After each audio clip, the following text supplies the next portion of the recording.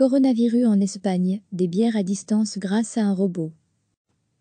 Ni bouche, ni nez, ni main, risque de contamination zéro. Le serveur de la Gitana Loca, à Séville, est parfait pour servir des bières aux clients en temps de pandémie de coronavirus. Même s'il n'a pas de cœur, car c'est un robot.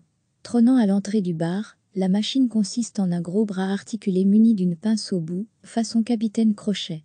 Le robot attrape un gobelet en plastique, pivote pour l'amener sous le robinet de la tireuse à bière, qui le remplit à ras-bord de liquide mousseux, avant de le déposer sur une tablette où le récupère le client. En plein centre de la capitale andalouse, le robot est en service depuis le 11 mai, date du début très prudent et gradué du déconfinement de l'Espagne, l'un des pays les plus endeuillés par l'épidémie, avec plus de 27 700 morts. Séville est encore dans la première phase, qui autorise l'ouverture des terrasses de bars, mais avec une capacité très réduite et de nombreuses mesures d'hygiène et de distanciation. Degré, degré, degré à lire aussi, coronavirus, des millions d'Espagnols goûtent à leur tour au déconfinement, sauf pour Madrid et Barcelone, le propriétaire de la Gitana Loca, un bar low cost servant des demi à 70 centimes, que l'on va soi-même chercher au bar, avait prévu d'équiper un autre de ses établissements d'un robot bien avant le confinement, pour augmenter le débit des ventes. Mais avec le confinement imposé à la mi-mars, l'appareil n'avait pas été mis en service. Finalement, nous avons pensé que ce serait idéal pour la phase 1 du déconfinement, explique Alaf le propriétaire de la franchise Alberto Martinez. Comme tout l'objectif est d'éviter le contact entre les clients et tous les objets, on s'est dit que le robot serait parfait pour éviter le contact, avec un verre en plastique, à jeter ensuite, et pour que tout soit vraiment en self-service. Pour l'instant, ce n'est pas rentable d'être ouvert.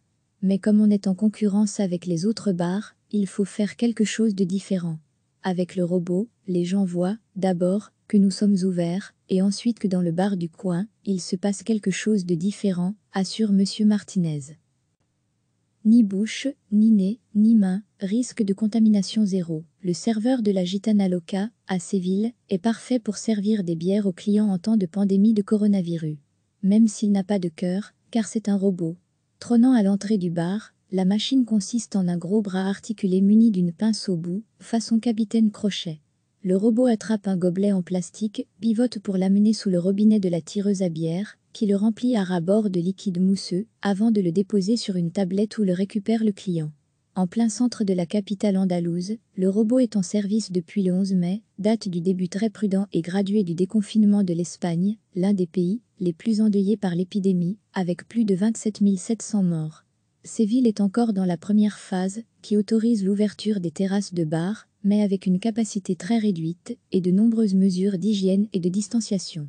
Degré, degré, degré à lire aussi, coronavirus, des millions d'Espagnols goûtent à leur tour au déconfinement, sauf pour Madrid et Barcelone, le propriétaire de la Gitana Loca, un bar low cost servant des demi à 70 centimes, que l'on va soi-même chercher au bar, avait prévu d'équiper un autre de ses établissements d'un robot bien avant le confinement, pour augmenter le débit des ventes.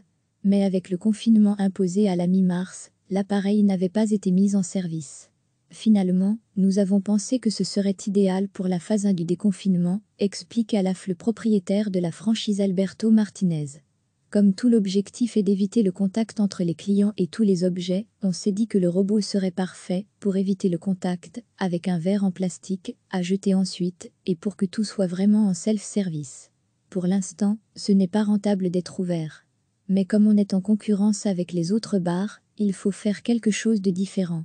Avec le robot, les gens voient, d'abord, que nous sommes ouverts, et ensuite que dans le bar du coin, il se passe quelque chose de différent, assure Monsieur Martinez. Cliquez sur s'abonner pour recevoir les dernières nouvelles.